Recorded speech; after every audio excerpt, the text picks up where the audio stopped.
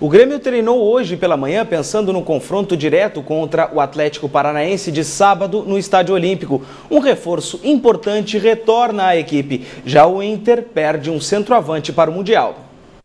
O técnico Renato Gaúcho pode contar com o lateral direito Gabriel. Recuperado da lesão que o deixou fora no jogo na Vila Belmiro, Gabriel treinou normalmente com o resto do grupo e volta a entrar em campo no sábado, diante do Atlético Paranaense. Quem ficou de fora do treino foi o zagueiro Paulão, que está gripado. Quem também não trabalhou com o restante do elenco foi o zagueiro Newton, também com gripe. Ele briga com Oséia pela vaga de Rafael Marques, e suspenso, desfalca a equipe na próxima rodada. Que entrar no jogo desse é muito importante, eu acho que as pessoas têm que é, ter noção da dificuldade que vai ser o jogo, né? Então, eu acho que essa mudança, o entrosamento existe pelo fato de estarmos trabalhando todos os dias, acho que não vai ter muita dificuldade.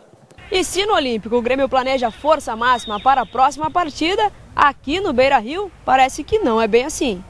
Na equipe pré-definida por Celso Rotti, hoje à tarde, Muriel pintou no gol. Ele é atualmente o quarto goleiro colorado. Ao que tudo indica, o único titular que enfrenta o Botafogo é Rafael Sobes.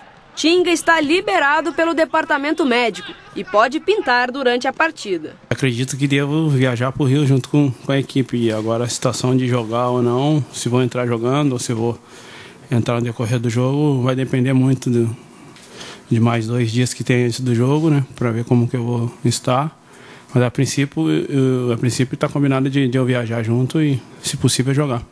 E se você pensa que time reserva contra o Botafogo é para facilitar o jogo. Pelo contrário, né? Eu acho que a dificuldade vai ser maior para o Botafogo, principalmente pelo fato desses jogadores todos querem participar do Mundial e ao mesmo tempo todos sabem que não vai todos. Então a chance ela diminui né, em termos de números, mas aumenta na, na, na, medida que todos vão ter a oportunidade de jogar. Uma má notícia essa tarde acabou com as pretensões do centroavante Lan de disputar o Mundial Interclubes.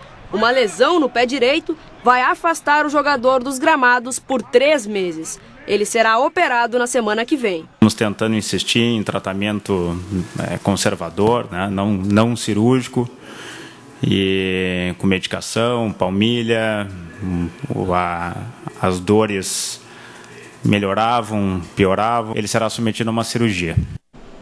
E uma última informação: o roqueiro Ozzy Osbourne vai tocar em Porto Alegre em março do ano que vem. A, a informação foi confirmada hoje pela produtora Time for Fun. As datas das pré-vendas e vendas para os shows em Porto Alegre, venda dos ingressos para os shows em Porto Alegre e Belo Horizonte vão ser anunciadas em breve. Para Notícias fica por aqui, nós voltamos amanhã às 7h10 da noite. Até lá!